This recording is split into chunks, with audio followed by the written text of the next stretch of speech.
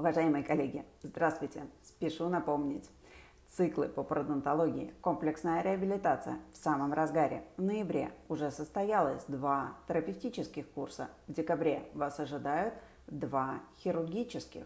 О том, как сохранять зубы, возможно их удалять, и о том, как планировать и как проводить пластику рецессий. Запись открыта. До встречи!